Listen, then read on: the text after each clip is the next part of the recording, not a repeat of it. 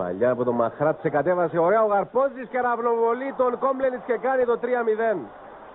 Το 47ο λεπτό υπέροχο γκολ από τον Αλέξη τον Γαρπόζη.